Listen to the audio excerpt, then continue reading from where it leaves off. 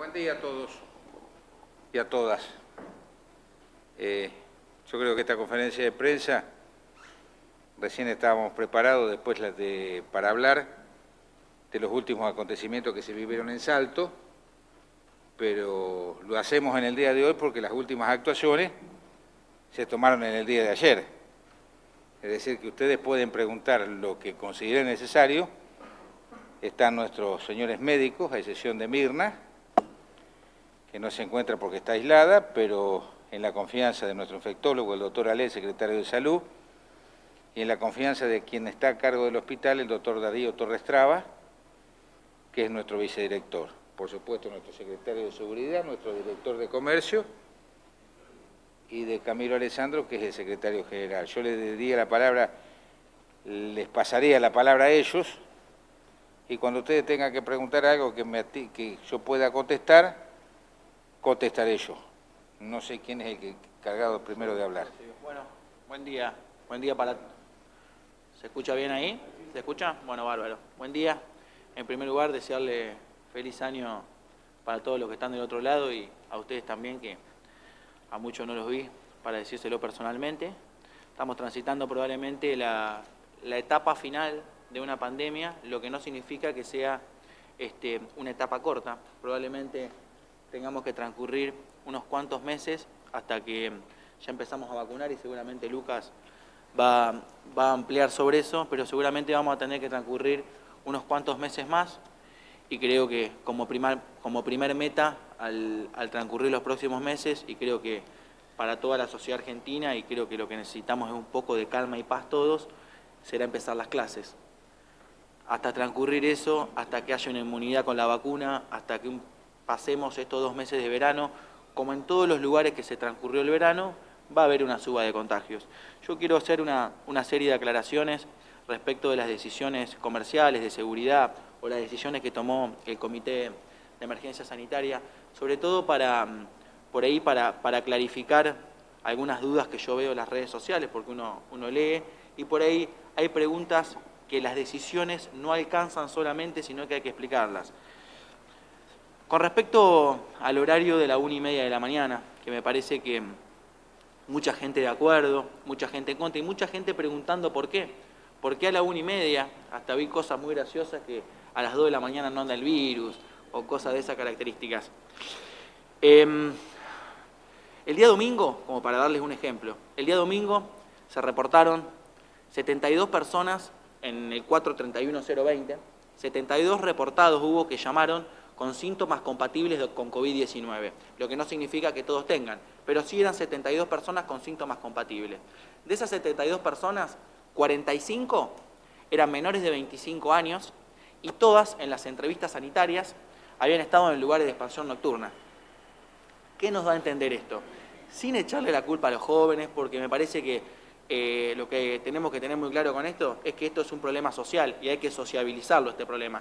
No es ni culpa de los jóvenes, que se divirtieron seguramente, ni culpa de la municipalidad, ni culpa de los adultos mayores, ni culpa de los comerciantes. Me parece que es un problema que tenemos que abordar todos juntos. Ahora, si tenemos ese, ese universo de, menores de 25 años que participaron en el lugar de expansión nocturna, indudablemente estamos teniendo un problema en la madrugada donde hay una, un rango etario que está transcurriendo a la costanera, a fiestas clandestinas o a donde sea, porque hay diversas cosas, y está vulnerando los protocolos, o por la ingesta de alcohol, o porque se relajan las, las, normas de bioseguridad.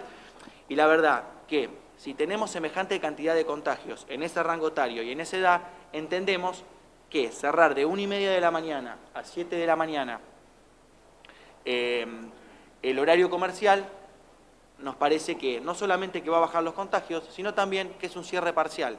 Es un cierre parcial porque tiene un impacto comercial negativo, que no es lo mismo que por ahí lo que están haciendo en otras ciudades, que tienen una situación hospitalaria diferente. Nosotros al día de hoy tenemos 15, 15 camas ocupadas. Hablaba con, con dos hospitales vecinos, hay uno que le quedaba solamente una cama y hay otro hospital que es el de Rojas, que está en unas condiciones eh, también bastante comprometidas, lo que no significa que tengamos que salir a tirar fuegos artificiales, ¿no? Pero tomamos las medidas que vamos tomando de acuerdo, porque uno ve por ahí el cuadro epidemiológico y es insuficiente para tomar medidas. Detrás del cuadro epidemiológico hay entrevistas, entrevistas sanitarias mm, a los pacientes positivos, a los aislados, se contempla antes de tomar una decisión el impacto comercial que va a tener esa decisión. La verdad que de una y media a siete de la mañana tiene un impacto comercial, que no digo que sea cero, pero tiene un impacto comercial distinto que cerrar a las 10 de la noche. Digo, vamos a transcurrir la pandemia tomando medidas restrictivas que tengan el menor impacto comercial, porque acá se ha, el intendente ha sido claro en eso y ha tenido directivas desde un principio.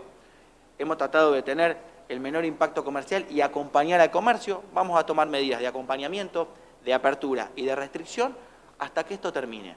Ahora, mientras que esto termine, vamos a tratar de, de ser eh, lo más razonable posible, ni cerrar todo, ni abrir todo, de acuerdo a los datos, a los, a los datos que vamos teniendo, a las estadísticas que vamos haciendo, a las camas del hospital, a los datos de comercio y vamos a ir tomando decisiones en ese aspecto.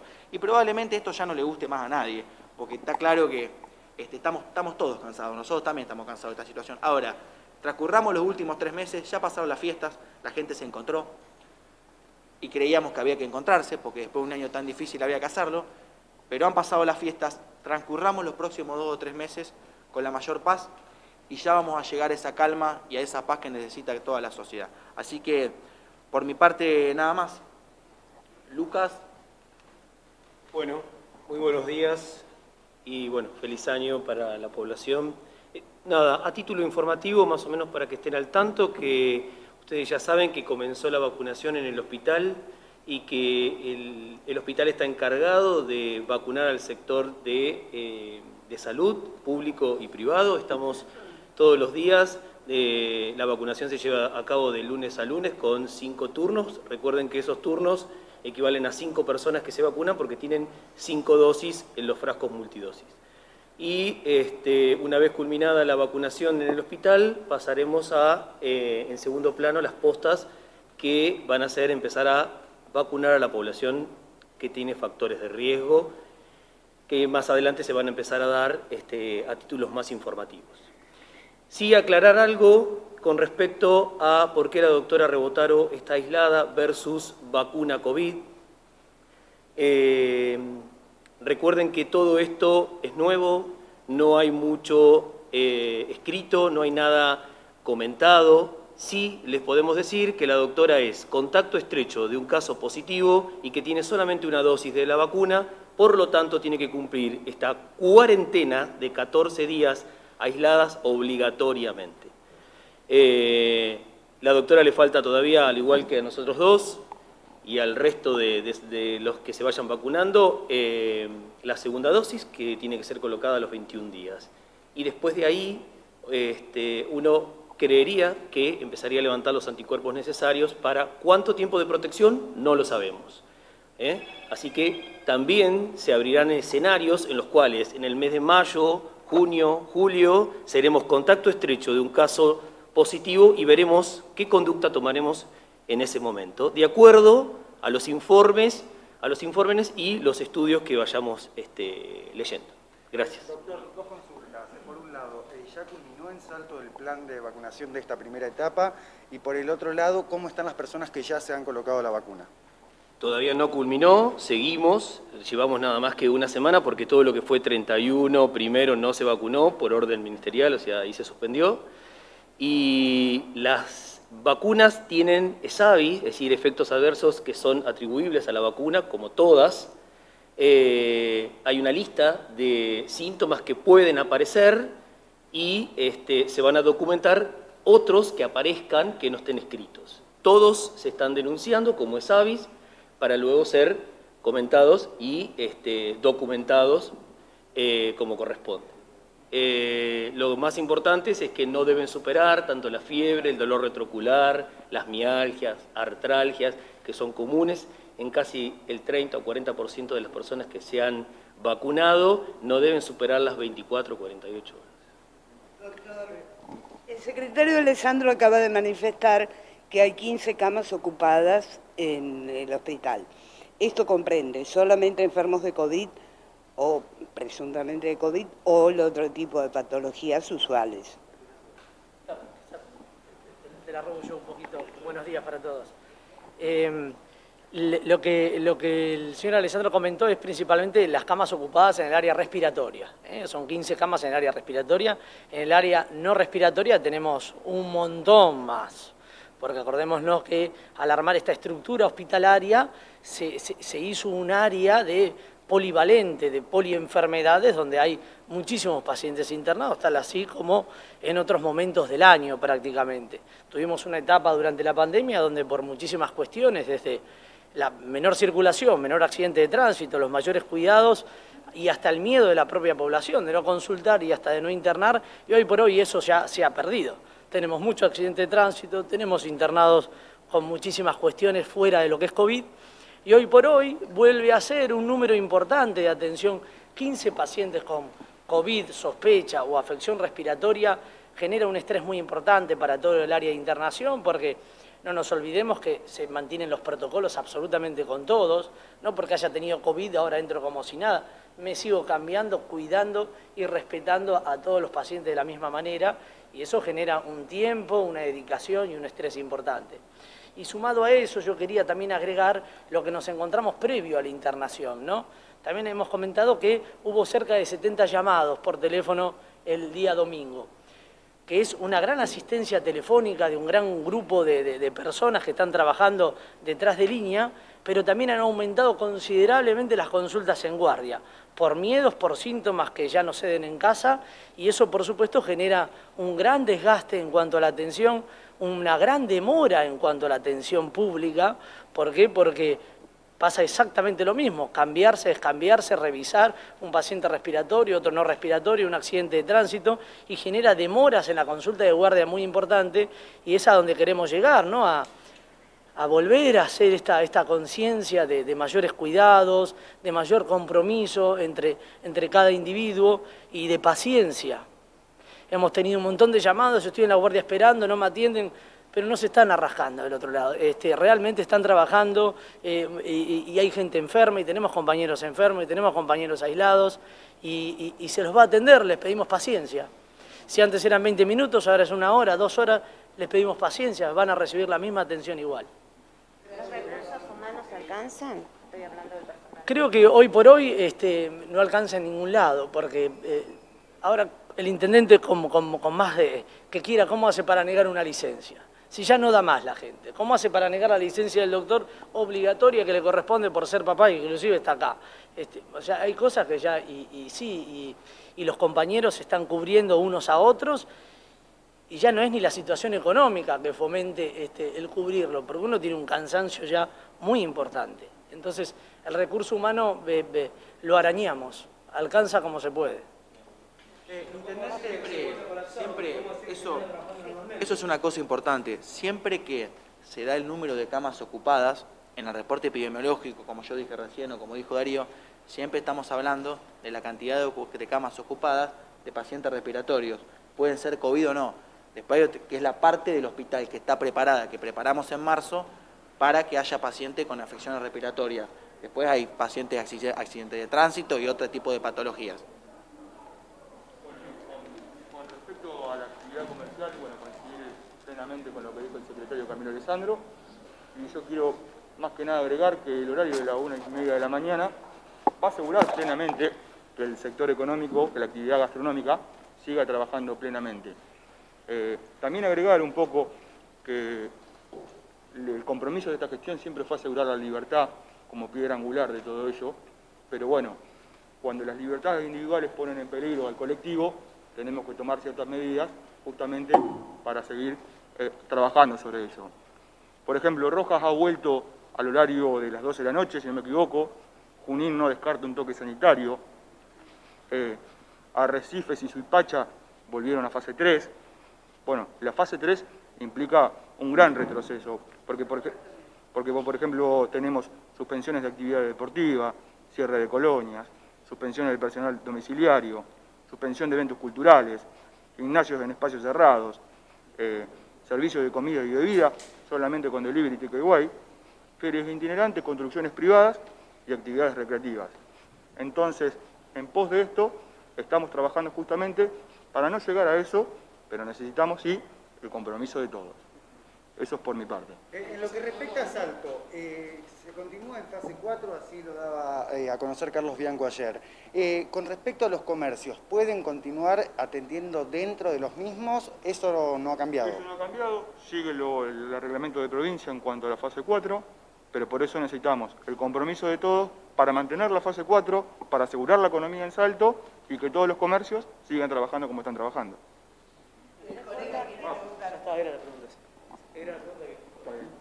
Bueno, ¿qué nos puede decir de los hechos acontecidos el último fin de semana?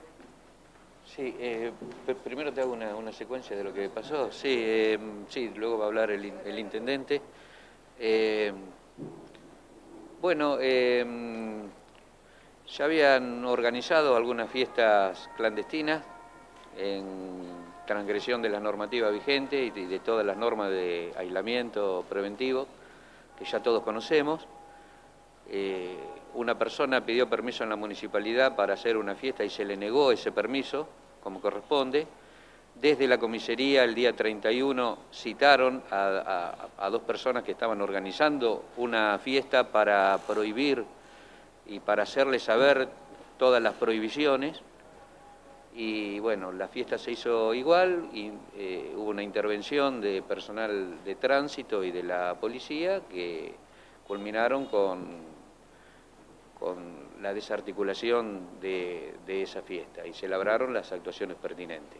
Independientemente de eso, eh, en los días siguientes circularon unos audios de que iban a organizar eh, otra fiesta las mismas personas porque había un fin lucrativo en, en todo esto, desinteresándose totalmente por la salud de las personas y despreciando todas las, normas vigentes, que lo iban a hacer en la costanera, motivo por el cual, eh, en conocimiento de esta situación, tanto tránsito como la policía procedieron a desarticular también esta, esta fiesta, eh, secuestrándose una pileta de ese tipo pelo pincho con, con, con- con- exactamente, con hielo, con latas de, de cerveza, equipos de, de música por parte de las personas que organizaban esa fiesta y por otro lado también eh, se labró una infracción por falta de documentación y tenían bebidas alcohólicas también, eh, otras personas que estaban con una camioneta y bueno, eso, eso fue todo, ¿no? Eh, en, en todo, en, en toda esta fiesta, en una de ellas hubo una participación de una empleada del juzgado de falta, y bueno, y se están haciendo las actuaciones administrativas que corresponden por el tema de las sanciones que le corresponden. ¿Cuál es el destino de esos empleados, intendente? ¿Cómo estaba? Estaba pensando en otra cosa, No, discúlpeme. ¿Cuál es el destino de esos empleados? ¿Qué pasó? Primero decir que cosas, eh, eh, el doctor de Cunta es un- una persona muy educada y muy delicada en hablar. Lo que pasa es que este personaje, yo creo que es un mafioso, me refiero al tatuador que organizó la fiesta, que la organizó el año pasado también, y el año pasado no se le cobró la multa que creo que tendría que habérsele cobrado, pero este año sí se le va a cobrar la multa y se va a actuar en consecuencia no puede actuar de la manera que actuó. Se le dijo que no en la municipalidad, se le dijo que no en todos lados y siguió actuando y siguió trabajando como no tenía que trabajar con cuatro baños químicos, una, un toldo de negro y largó con una fiesta que no la podía hacer, que fueron alrededor, según dicen, de 1.300 personas. ¿Por qué digo, por qué digo que es un mafioso? Digo que es un mafioso porque se ha quedado con una cantidad de plata considerable, que los padres muy tranquilamente no dicen nada. Cobró entre, yo estuve con chicos ayer que le cobró 200, otro le cobró 300, a otro 400, y no sé lo que cobró. Pero si fueron 1.300, usted sabe que la cuenta de lo que ha recaudado o lo que, o lo que ha quedado de esta, de esta fiesta. Yo lo que le diría es la siguiente. Obviamente la plata ya no se devuelve, nosotros vamos a actuar en consecuencia y vamos a cobrar la multa que corresponda. Ya tienen las instrucciones la, la encargada del juzgado de falta y vamos a cobrar lo que corresponda. Con respecto a la empleada municipal que estaba enfrente de la fiesta y que la fiesta fue enfrente de su casa, tiene 40 días de suspensión y después veremos qué vamos a hacer con ella, vamos a iniciar sumario y vamos a ver cómo actuamos. Vamos a actuar de la manera más rigurosa posible, más estando en un área sensible como la que estaba, que era el jugado de falta, más chapeando como chapeó, a mí nadie me toca porque soy de jugado de falta o algo parecido como dice las actas, y no se lo vamos a permitir. Es decir, que es tan responsable uno como el otro, que asuma la responsabilidad la persona que es tatuadora y la persona que organizó la fiesta. Que vuelvo a repetir, organizó una fiesta el año pasado en la calle Defensa, puso baños químicos en la calle Defensa y no sé si le cobraron la multa o no, tengo mis dudas. Pero ahora va a suceder distinto. Vamos a actuar en consecuencia. Lo que me llama la atención a mí, al otro día se volvió a organizar. Al otro día, o pasando dos días, él prometió que iba a organizar otra fiesta. Organizó una fiesta lo más campante en la costanera, con mucha gente también, con mucha gente también en la, cual, en la cual se golpeó una funcionaria policial, creo que se le pegó una trompada, hubo el hijo de otro funcionario municipal que estuvo con bebidas dentro del auto, y generalmente se, se fue ese auto, había 1.300 personas, lo identifican, lo identifican los inspectores municipales, porque de ese auto decían, yo no sé si era él, porque yo creo que es un muy buen chico, pero tiene que actuar en consecuencia. Dentro del auto había botellas de, de vino Viña de Balbo, había botellas de Boca, si no me equivoco, había botellas de Fernet y había otras cosas, y había lata de cerveza. Y no se lo vamos a permitir tampoco y le dimos lo, que corresponde, 10 días de multa y después vamos a ver cómo actuamos en consecuencia. Lamento la defensa que hizo el padre, que también es funcionario municipal, diciendo cosas que no eran así. Pero bueno, está aclarado, vamos a seguir trabajando Vamos a actuar en consecuencia y no se lo vamos a permitir. Lo que a mí me llama la atención de todo esto, algunos de los chicos se sintieron estafados, pidieron que le devuelva la plata, que los padres, que los padres le den plata a los chicos para que vayan a una fiesta clandestina, es el único caso en la historia. Los padres no deben saber que es una fiesta clandestina. Los chicos son incontrolables, yo sé que son incontrolables, pero no pueden hacer lo que hacen. Yo no se los puedo permitir. Entonces vamos a actuar, no es que estén contra los chicos, me parece bárbaro, estoy de acuerdo, el, horario de la una y media de la tarde lo hemos puesto consensuadamente, no hemos vuelto, la una y media de la mañana, no hemos, no hemos actuado en consecuencia y no hemos vuelto a fase, que en una de esas tenemos que volver a fase, a fase 3, y volvemos a fase 3, se cierran los gimnasios otra vez, se cierran los comercios otra vez, pasan una cantidad de cosas, como dice el doctor Torres Traba y como dice el doctor Ale, la situación se está complicando, si tuvieron 70 llamadas, hay gente que está llamando permanentemente, se están contagiando los chicos, los chicos contagian a los menores y los padres no actúan, es una cosa increíble, increíble, increíble, me llama la atención. Yo ya apelar como apelan muchos a la, solidaridad de los padres y, y que los chicos vayan a la fiesta de un mafioso, un mafioso que ya el año pasado hizo algo parecido y este año lo vuelve a hacer, no lo puedo permitir, que me disculpen, y, amparar a una funcionaria municipal que chapea diciendo que ella es funcionaria de juzgado de falta, que acá no pasa nada y que no toca nada y boconea. No lo vamos a permitir. No lo vamos a permitir y vamos a actuar, vuelvo a repetir en consecuencia. Así que bueno, yo lamento, espero que las cosas vuelvan a sus carriles normales. Nadie prohíbe nada, nadie prohíbe nada, pero sí, de... señor. Eh, obviamente en lugares permitidos, habilitados, fiestas sociales, llámese casamientos, cumpleaños 15, siempre continuarían, obviamente con el protocolo y demás, al aire libre, ¿podrían seguir o no? Sí, tal cual. Hasta, hasta el horario que corresponda, como está, hasta la una y media. En otro lado están cerrando a las 12, en otro lado están implementando un toque de quedo y en otros lados no están haciendo absolutamente nada. ¿Se puede decir que tenemos que cuidar lo que se ha logrado para no perder todo lo que... Yo diría que tenemos que cuidar lo que se hizo hasta ahora y tenemos que volver en respuesta a los dos profesionales médicos que hay acá que mucho trabajan. Tendríamos que cuidar la fase 4, porque si volvemos a la fase 3 tenemos, volvemos una cantidad de problemas con los gimnasios de nuevo que están todos en paz trabajando, con las confiterías, con el cierre, con una cantidad de cosas que no vamos a poder resistir.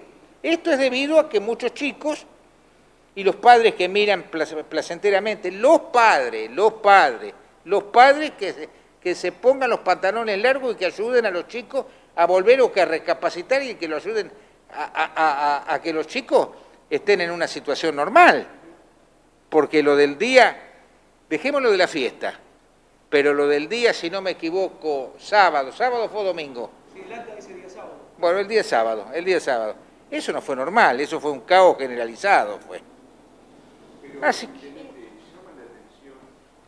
que además paguen para eh, participar de una fiesta en un lugar público, que es gratuito, que se supone que es de libre accesibilidad. Porque este mafioso, este mafioso que organizó la fiesta, que lo organiza y porque vino acá, y acá le dijimos que no la tenía que organizar, fue a la, por comisaría y le dijeron no organicé la fiesta, es tan mafioso, tan mafioso, porque es mafioso, que organizó la fiesta igual. Y se quedó con la plata igual. Se quedó con, un, no sé si son 300, 400, 500, yo no sé lo que, pero se quedó con un montón de plata.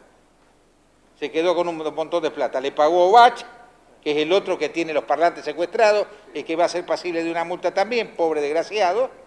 Le pagó Bach y se quedó con un montón de plata. Y quejándose todavía que no le alcanzaba para repartir más lata de cerveza.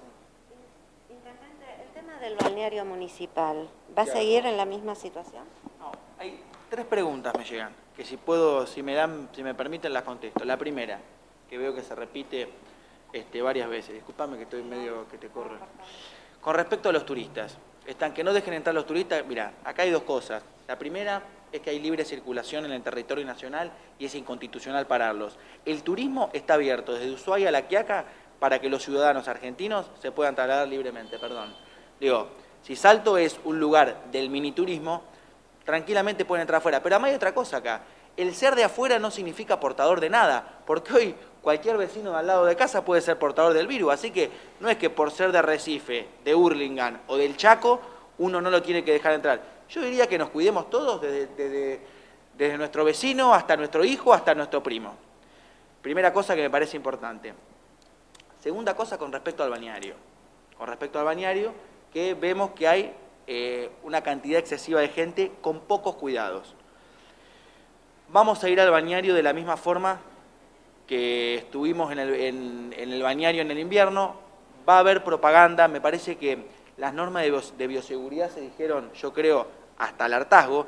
Ahora, también hay una cosa, entendemos que el, el bañario hay que usarlo de la misma forma que en España, Italia y Grecia se usaron las playas. En ninguna parte del mundo, ni en Pinamar, ni en Grecia, ni en Salto, ni en ningún balneario, río o lago, se ha prohibido la entrada. La realidad es esa. Lo que tenemos que ser es lo suficientemente inteligentes para ir al bañario y si no vamos a sacar el barbijo, mantener la distancia, no compartir un mate y hacer cosas normales para no contagiarnos.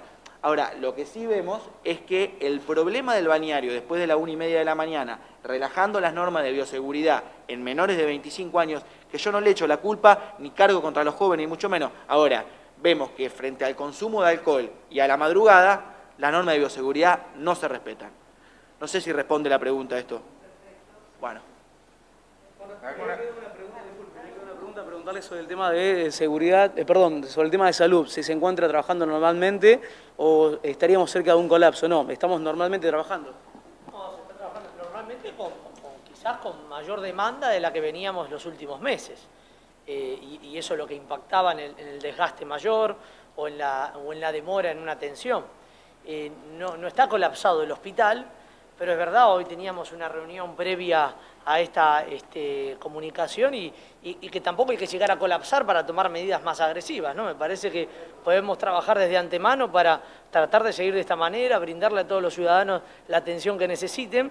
Y, y es verdad que hasta las camas podrían estar más ocupadas si no tendríamos ese, ese entrenamiento telefónico y ese seguimiento telefónico estricto que hoy se tiene, sábado, domingo, feriados, este, eh, que quizás no se cuentan en otras localidades y por eso eh, existen los resultados que hay. Pero, pero es un, una, una, labor muy, muy exitosa que estamos teniendo hoy en línea para evitar tal vez el colapso del sistema. Perdón, con respecto a las vacunas, la gente nos está preguntando, ¿qué pasa con el común de la gente? Esto ahora están eh, vacunando esenciales. Bueno, ¿cómo son los pasos a seguir, si se sabe, con el resto de la población? Los pasos a seguir los vamos sabiendo el día a día de acuerdo a cómo el Ministerio nos vaya diciendo. Por ahora nos bajó la primera normativa, es trabajadores de salud.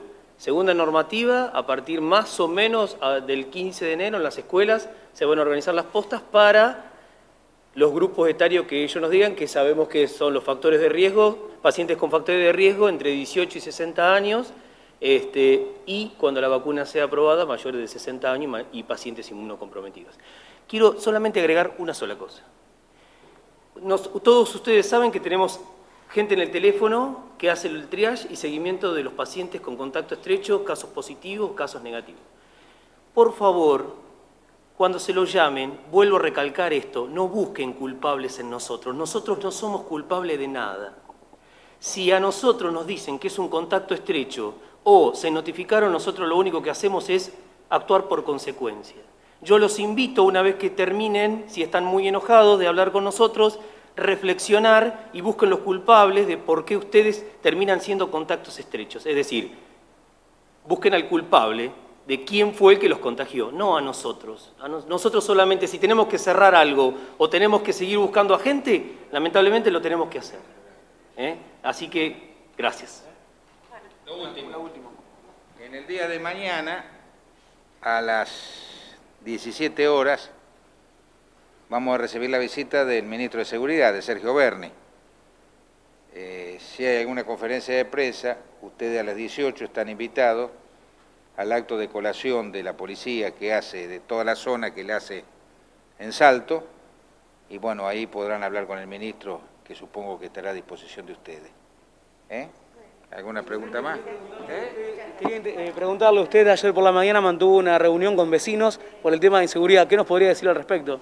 Que fue una buena reunión, que fue una buena reunión, estuvo el comisario de, el comisario de Cunta, había alrededor de 30 vecinos, lo que quedamos es poner un domo en la calle 25 de mayo y 25 de mayo y Castelli, 25 de mayo Castelli un domo más, hacer el patrullaje que corresponde, y darle y atenderlos y, tratar de brindarle la seguridad que podemos para que ellos se sientan seguros.